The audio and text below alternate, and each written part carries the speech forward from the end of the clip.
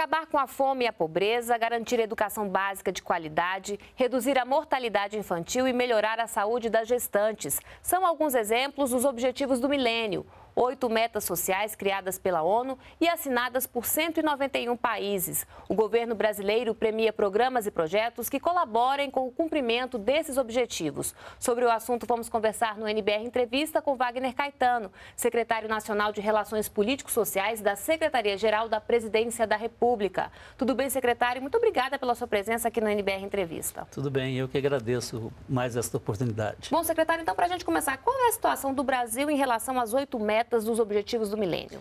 O Brasil, desde 2003, adotou as metas do milênio como um, seu compromisso. Né? O Brasil assinou o pacto em 2000 e de lá para cá é, tem sido intenso o trabalho para que o, em 2015 a gente possa cumprir com essa tarefa. Então, são várias políticas públicas que estão sendo implementadas no Brasil que estão trazendo seus resultados. O Brasil vai chegar em 2015 de cabeça erguida frente ao mundo, cumprindo com a sua tarefa, é, dando os resultados prometidos no ano de 2000. Bom, a gente já conseguiu avançar em duas áreas, não é isso? A redução é, da pobreza e da fome, né?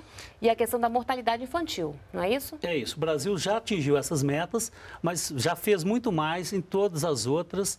É, praticamente, o Brasil está concluindo todo o processo né, que está previsto até 2015, no, este ano e, e o ano que vem. A única meta mais difícil de ser cumprida até 2015 é a da redução da mortalidade materna. Todas as outras, Qual o Brasil tem conseguido aí, avanços secretário? significativos.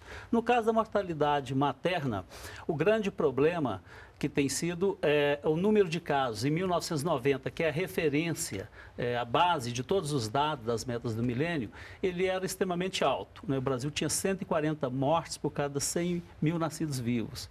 Caiu para 62, ou seja, para menos da metade, mas continua muito alto porque o número, a meta pretendida é de 35.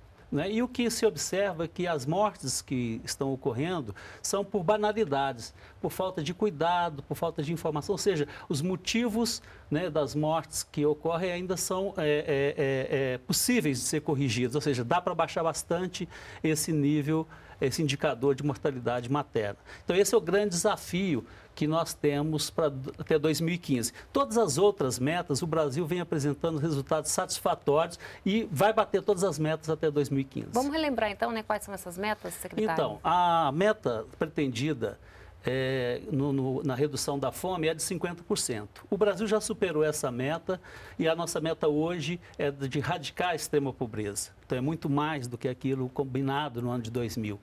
A questão da educação, o Brasil, a, a, o, o, o, compromisso é de garantir o acesso à escola a todas as crianças em idade escolar e a igualdade de gênero no, alcance, no, no acesso à escola. Também é, estamos resolvidos nessa questão. O nosso desafio passa a ser a qualidade do ensino e a permanência das crianças na escola. A redução da mortalidade infantil, o Brasil também já atingiu. A questão da igualdade de gênero, o Brasil também é, tem resultados satisfatórios. O grande problema hoje na igualdade de gênero passa a ser o emprego da mulher e a questão do salário, a diferença dos salários. Na no combate à violência contra as mulheres, o Brasil também tem conseguido resultados extraordinários. A redução da mortalidade materna já falamos, no combate à AIDS, à malária e outras doenças, o Brasil também é referência internacional, tem bons resultados. Na questão ambiental, o Brasil tem conseguido bons resultados no acesso à água, no esgotamento sanitário, na questão da moradia através do Minha Casa Minha Vida, na redução do desmatamento. Enfim, o Brasil tem produzido bastante resultado nesses últimos 10 anos e é, melhorado todos os indicadores sociais. Em relação a outros países, né, qual é a nossa situação? O Brasil é um dos países, como eu disse no início, que vai cumprir com as metas do milênio, mas não será o único. Vários países vão atingir as metas de 2015. A diferença é que o Brasil é o único país que também é, reduz a desigualdade social. Nesses últimos 10 anos, o Brasil conseguiu melhorar os indicadores sociais e reduzir as, as desigualdades sociais e regionais. Esse é um grande feito é, que diferencia o Brasil dos outros países. Isso pode ser uma referência para os outros países também? Pode ser um modelo a ser seguido? Tem sido. Vários programas brasileiros é, têm sido copiados em outros países. O programa de combate à, à extrema pobreza é um dos maiores sucessos no mundo, né? e em todos os lugares onde o Brasil se apresenta, é, o Brasil tem sido respeitado por essa sua iniciativa. Inclusive, o Papa Francisco, aqui no Rio de Janeiro, fez menção a esse grande esforço do Brasil no combate à extrema pobreza. Agora, para conseguir é, cumprir essa tarefa, o governo federal não, não, deve conseguir sozinho, né? Então, qual é o papel, qual é a ajuda que estados e municípios devem oferecer aí ao governo federal? Esses resultados do Brasil, eles se dão, primeiro, por, pelo governo brasileiro ter decisão política de enfrentar esses problemas.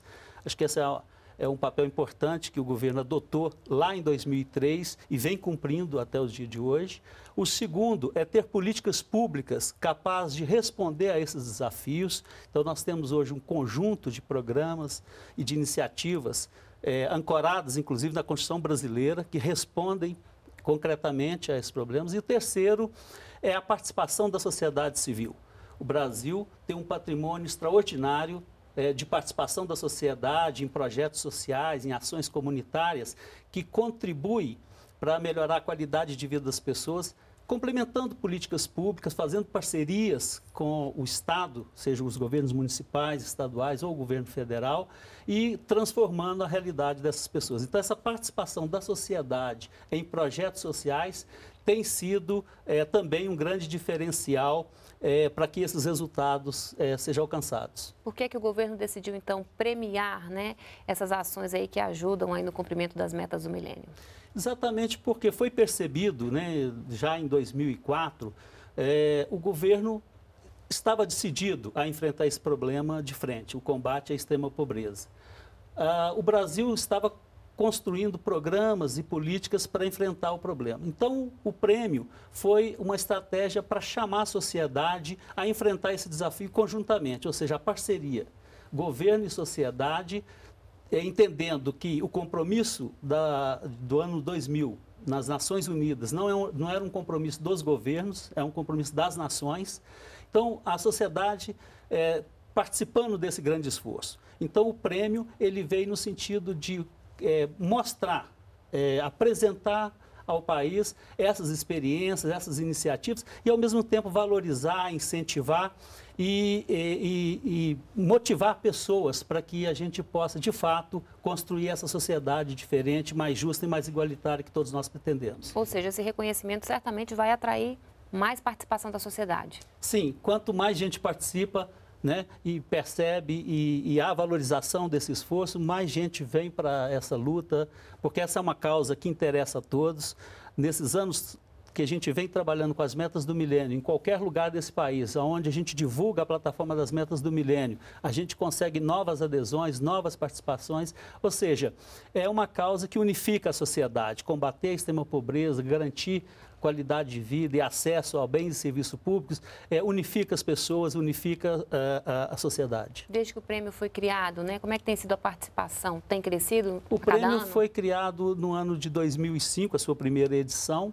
Nós estamos na sua quinta edição e a cada edição o prêmio vem contando com uma participação maior, seja na inscrição de projetos, seja na participação dos seminários, debates em torno desse tema, seja na, na presença é, de instituições é, comprando essa causa né, para que o Brasil seja um Brasil melhor. Então a gente percebe a cada ano, e é isso que nos motiva, inclusive, continuar também com esse projeto, porque a cada ano o número de instituições presentes, de pessoas presente nessa, nessa, nesse prêmio é maior. Quem é que pode participar? Participam as organizações sociais e as prefeituras. Quando a gente fala em organizações sociais, tudo que não é poder público, é organização da sociedade, seja religiosa, seja comunitária, sindical, enfim, todas as organizações empresariais que queiram, que desenvolvem projetos, que contribuem para o alcance das metas do milênio, podem inscrever seus projetos no Prêmio ODM né, porque ele é aberto à sociedade. E as prefeituras, as 5.500 prefeituras do nosso país. Lembrando que as inscrições foram prorrogadas, né? Isso, nós estamos com as inscrições abertas até o dia 19 de agosto, às 23 horas e 55 minutos, para que todos possam inscrever os seus projetos. Tivemos é, um apelo de várias instituições e prefeituras que participaram dos seminários que foram realizados para a divulgação do prêmio, é, solicitando essa, essa, prorrogação. Então, em atendimento a essas entidades, nós demos um prazo aí de mais 15 dias. Como é que é o processo de escolha né, das melhores iniciativas, dos melhores projetos? Né? Como, quem é que faz essa avaliação? Dos projetos inscritos, nós temos uma equipe da ENAP, que é a Escola Nacional de Aprendizagem é, de Administração Pública, e, é, da, e do IPEA, que é o Instituto é, de Pesquisa Econômica Aplicada.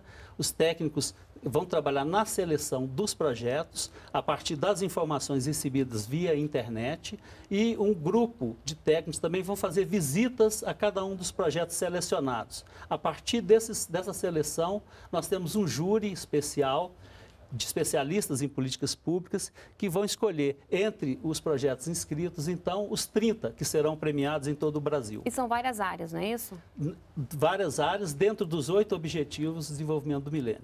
E é Educação, é possível, saúde, meio ambiente. É possível multiplicar essas boas práticas, essas boas iniciativas? Aplicar intenção, em um estado, aplicar no outro, independente intenção, da realidade? É, a intenção do projeto, do prêmio é essa, quer dizer, é mostrar essas iniciativas, valorizar e, ao mesmo tempo, incentivar outras ações, que pode ser através do que a gente chama da replicabilidade desses projetos. Então, inclusive, os projetos mais simples, projetos é, menos complexos, né, para que facilite a aplicação deles em outras comunidades. Esses são muito valorizados. Projetos com parcerias com a comunidade, eh, projetos que têm participação social.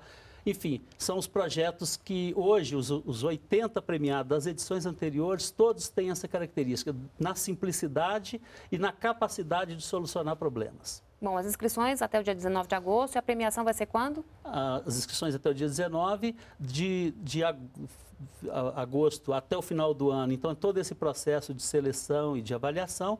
E no ano que vem, no mês de abril, nós vamos ter então a solenidade de premiação, que normalmente acontece aqui em Brasília. Os outros anos nós tivemos essa solenidade dentro do Palácio do Planalto, com a presença antes do presidente Lula, agora da presidenta Dilma, onde então são entregues os troféus e os certificados às instituições que são premiadas. Então, para o mês de abril de 2014, certamente nós vamos ter a solenidade de premiação dessa quinta edição. Bom, só para a gente encerrar, gostaria que o senhor fizesse um convite né, às organizações não governamentais e também às prefeituras para participar desse prêmio aí que é tão importante. Isso, nós é, prorrogamos o prazo de inscrição a pedido né, de prefeituras e de organizações, exatamente para que todos que têm projetos que dialogam com as metas do milênio, que ajudam o Brasil a melhorar os seus indicadores sociais, faça sua inscrição. Vão mostrar essa experiência para o Brasil e para o mundo. Todos os projetos premiados nas edições anteriores estão num banco de dados, tanto nosso aqui do governo brasileiro, quanto também da CEPAL, que é a Comissão Econômica para a América Latina, de uma rede chamada Rede Ideia, ou seja, de, é uma, é, na internet exatamente para é, dialogar com o mundo inteiro mostrando essas boas experiências. E vários projetos premiados aqui no Brasil têm sido premiados também a nível internacional e têm sido convidados para apresentação em palestras, em, em debates das suas experiências. Ou seja, às vezes a gente faz uma coisa simples numa determinada comunidade, pensa que a gente está fazendo uma coisa pequena e na verdade não é nada disso, é uma coisa grandiosa, é uma coisa gente, que né? ajuda muita gente e que repercute em outros lugares é, outras partes do mundo. Tá certo, secretário. Muito obrigada pela sua participação aqui no NBR Entrevista. Eu que agradeço. Bem, outras informações então no www.odmbrasil.gov.br. E para rever essa entrevista é só acessar o endereço que aparece agora aí na sua tela. Muito obrigada pela companhia e a gente se vê no próximo programa. Continue aqui na NBR, a TV do Governo Federal.